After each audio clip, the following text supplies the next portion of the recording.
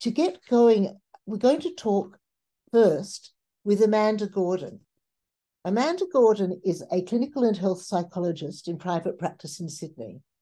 She's the founder of National Psychology Week and well known for bringing psychological wisdom to the public through her media work, especially on ABC Radio. She particularly addresses issues of grief, bereavement, trauma, and the impacts of relationships.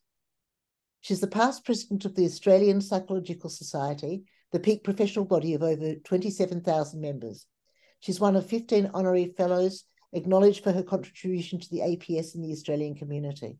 But I can tell you that more important than that, Amanda has been involved in Refugee Week committees, in the New South Wales Reconciliation Council, in psychology for refugees, and a whole range of other really important initiatives by psychologists for human rights and for the well-being of, uh, of our fellow people.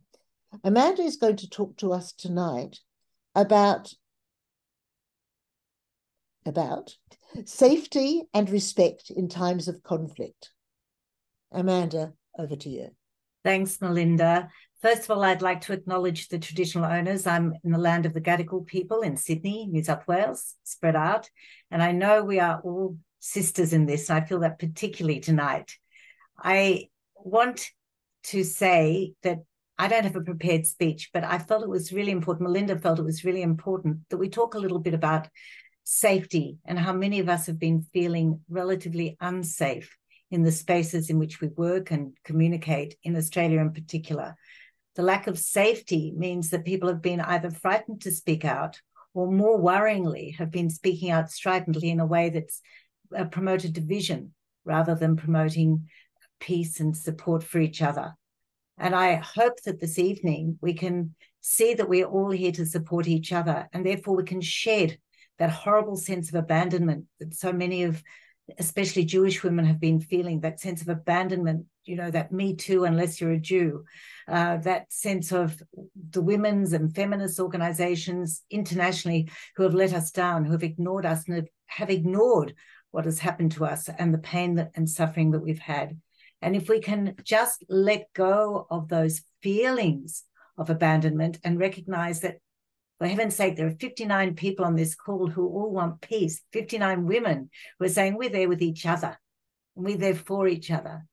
May I say that in the last weeks, not only have people reached out to me, but when I have reached out for support because I have felt unsafe, I have invariably found that people want peace. They want to support us and they want to support each other and they want to know that we are okay.